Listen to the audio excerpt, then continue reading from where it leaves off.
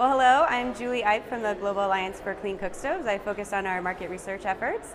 Um, and uh, we had a great session this morning that was organized by SEI on translating behavior into interventions. Um, you know, I'm, I've been in the cookstove sector for about two years now, and when I started, you know, all I heard about was engineering sort of topics. So how clean can we make these stoves, how efficient, et cetera. Um, so it's really refreshing that you know organizations like SEI are really taking the, the consumer point of view into account because we all know that's cr- critically important. Um, these stoves are, you know, for the women that we're, we're hoping will benefit from them, um, and they really must meet their needs. So it's really refreshing to see all the new research that SEI is uh, putting out there on this very important topic.